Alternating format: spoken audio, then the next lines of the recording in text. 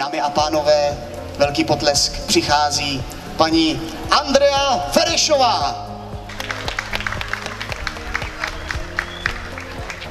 Dobrý večer.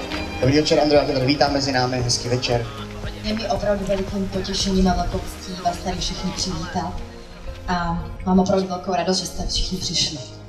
Ty máš pro nás dnes připravenou takovou novinku, tak kdyby si nám řekla, co je o ním překvapením dnešního večera. Tak samozřejmě, kromě jiného, je to také křest nádherné limitované edice lahve, kterou jsem navrhla spolu s označkou Soda Stream.